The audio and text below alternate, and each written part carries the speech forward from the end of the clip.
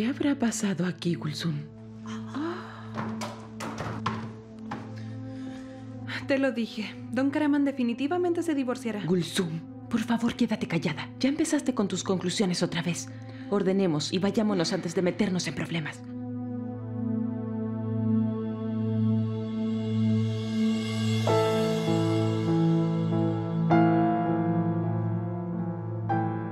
¿Qué es esto?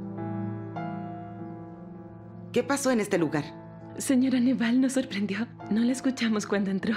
Deja de distraerme y solo contesta mi pregunta. ¿Qué pasó acá? La señora Daphne debe haber estado molesta por algo, se desahogó rompiendo todo y ahora está tomando café en la sala.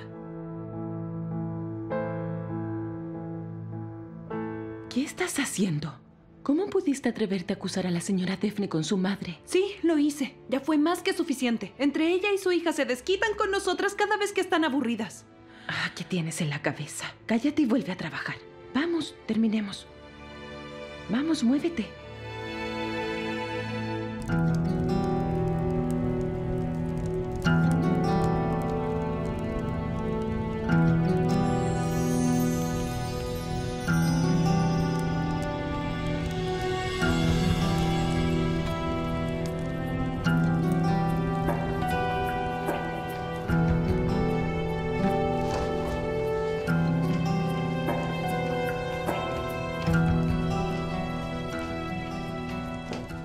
Tú haces todo lo contrario a lo que te digo que hagas. Buenos días para ti también. Deja de hacerte la graciosa y escúchame. Ya tengo suficiente con lo que me pasa. No quiero lidiar contigo además. Te irá peor si sigues escuchando a esa mujer. No sé por qué crees que te ayudará. Te está llevando directamente a la No te desesperación. preocupes, mamá. No estoy escuchando a nadie. Tanto la señora Kimet como tú pueden hacer lo que quieran. Yo sé cuidarme sola perfectamente. Dejen de meterse en mi vida. Daphne. Daphne, no hagas algo de lo que te arrepentirás. Daphne, ¿dónde vas ahora? A terminar con esto de una vez.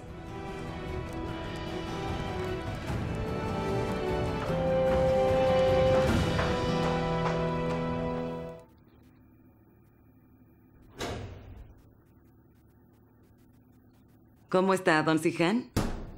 Espero no interrumpirlo.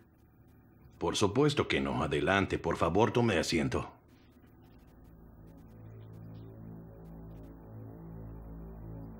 Vine para terminar la conversación que dejamos pendiente. Al parecer anoche usted quería decirme algo sobre Karaman. Pero cuando llegó Kimet no quiso seguir para que no escuchara. Tiene mucha razón. Pero se equivoca en un solo punto.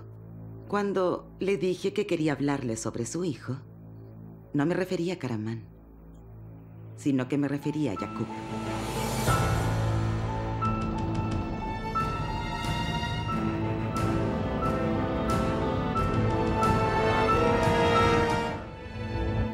Escúcheme, señora Neval.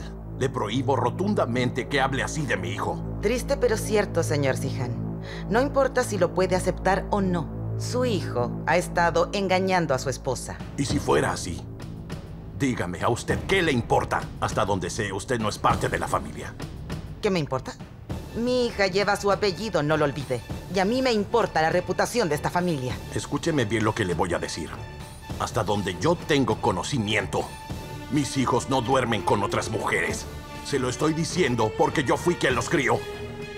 Además, cuide bien de su hija. Y después venga a hablar mal de mis hijos. ¿Qué se ha creído para venir a hablarme así?